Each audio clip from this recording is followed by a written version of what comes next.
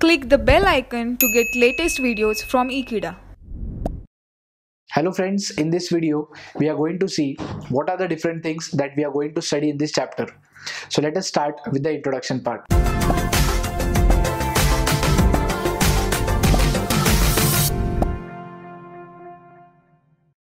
Differential equations are essential in the study of pure and applied mathematics.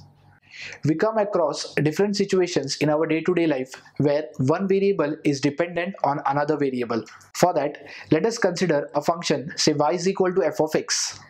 So in this relation also we have one dependent variable and another independent variable.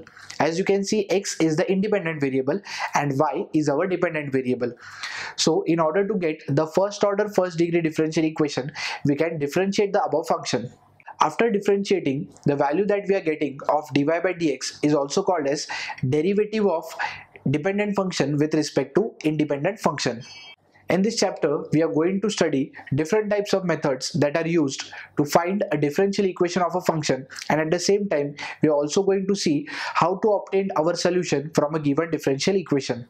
Depending on the type or nature of the differential equation, we have developed various methods that are required to solve this equation. Let us see one by one.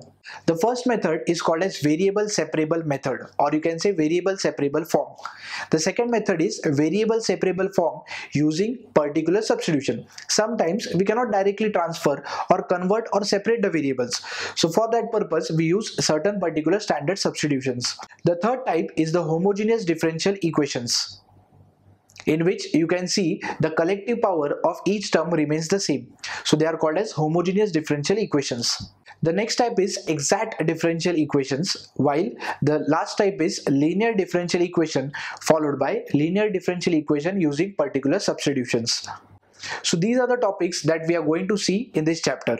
I hope friends you have understood this part. Thank you for watching this video. Stay tuned with Ekeeda and subscribe to Ekeeda.